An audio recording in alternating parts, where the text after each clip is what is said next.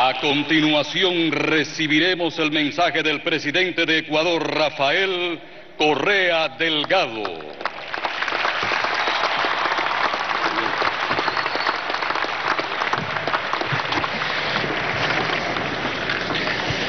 Pueblos de nuestra América y del mundo, Fidel ha muerto. Murió invicto. Solo el inexorable paso de los años lo pudo derrotar. Murió el mismo día en que 60 años antes, con 82 patriotas, partió de México para hacer historia. Murió haciendo honor a su nombre, Fidel, digno de fe. La fe que puso en él su pueblo y toda la patria grande.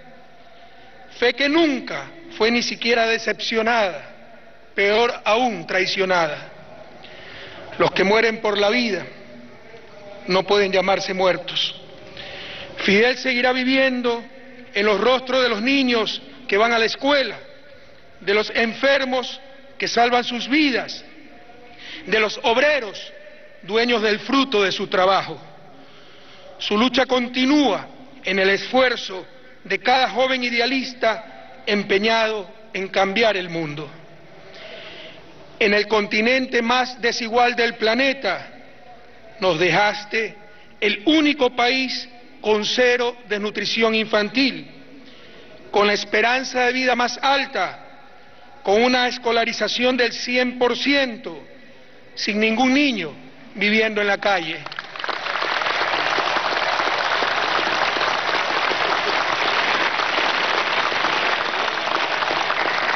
Evaluar el éxito o fracaso del modelo económico cubano haciendo abstracción de un bloqueo criminal de más de 50 años es pura hipocresía.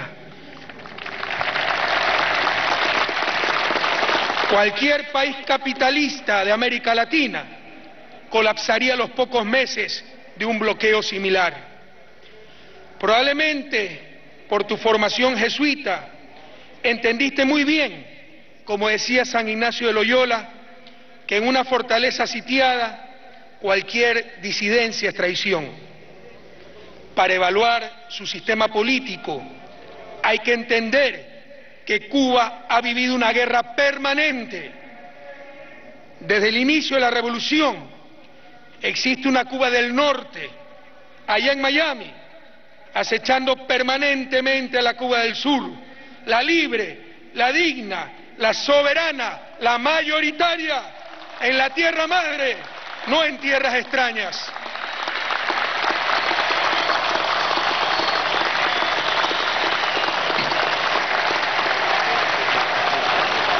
No han invadido Cuba porque saben que no lograrán vencer a todo un pueblo.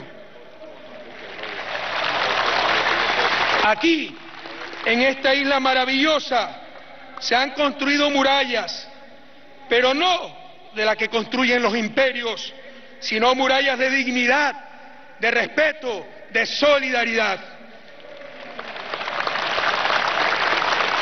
Cuba saldrá adelante por sus principios revolucionarios, por su extraordinario talento humano, pero también porque la resistencia está integrada en su cultura y con el ejemplo de Fidel, jamás el pueblo cubano permitirá que su país vuelva a ser colonia de ningún imperio.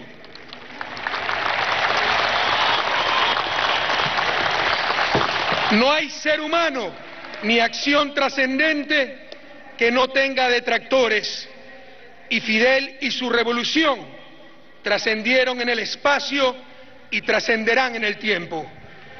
Contigo se cumple lo que nuestro viejo luchador, el general Eloy Alfaro, amigo de Martí, solía decir, si en lugar de afrontar el peligro hubiera yo cometido la vileza de pasarme al enemigo, habríamos tenido paz, mucha paz, la paz del coloniaje. Cuba fue solidaria con la revolución liberal alfarista de fines del siglo XIX y ha sido solidaria con nuestra revolución ciudadana del siglo XXI. Muchas gracias, Fidel. Muchas gracias, pueblo cubano. La mayoría te amó con pasión, una minoría te odió, pero nadie pudo ignorarte. Algunos luchadores en su vejez son aceptados hasta por sus más recalcitrantes detractores, porque dejan de ser peligrosos. Pero tú ni siquiera tuviste esa tregua, porque hasta el final tu palabra clara y tu mente lúcida no dejaron principios sin defender, verdad sin decir, crimen sin denunciar.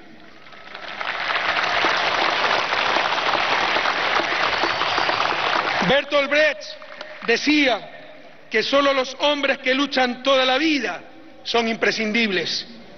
Conocí a Fidel y sé que jamás buscó ser imprescindible, pero sí que luchó toda la vida. Nació, vivió y murió con la necedad de lo que hoy resulta necio, la necedad de asumir al enemigo, la necedad de vivir sin tener precio. Nosotros seguiremos jugando a lo perdido y tú seguirás vibrando en la montaña con un rubí, cinco franjas y una estrella.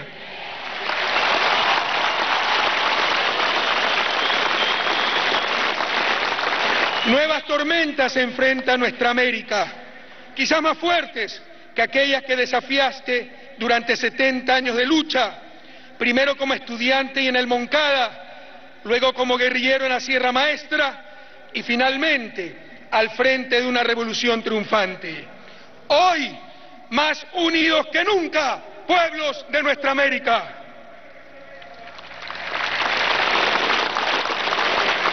Querido Fidel, tu honda convicción martiana te llevó a estar siempre, no del lado en que se vive mejor, sino del lado en que está el deber.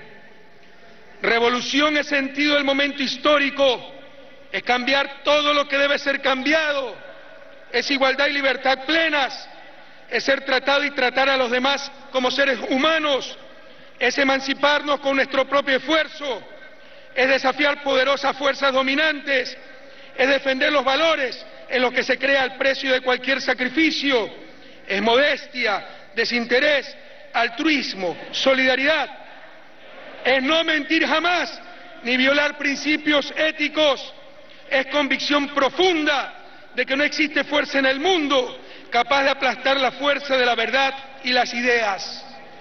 Contigo, comandante Fidel Castro Ruz, con Camilo Cienfuegos, con el Che, con Hugo Chávez Frías, aprendimos a creer en el hombre nuevo latinoamericano, capaz de librar con organización y conciencia la lucha permanente de las ideas liberadoras para construir un mundo de justicia y de paz.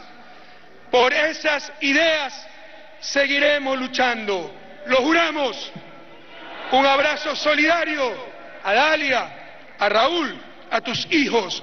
Hasta la victoria siempre, comandante.